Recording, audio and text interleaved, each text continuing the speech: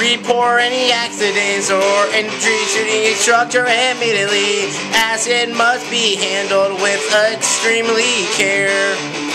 Do not touch or taste or smell any chemicals unless instructed to do so.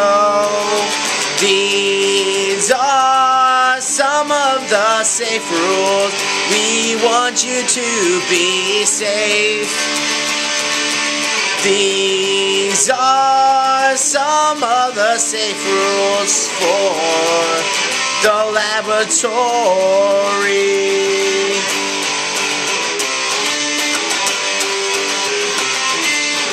Do not eat or drink in the lab.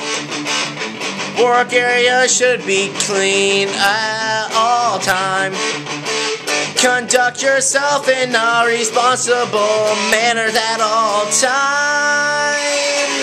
Now you know some of the rules.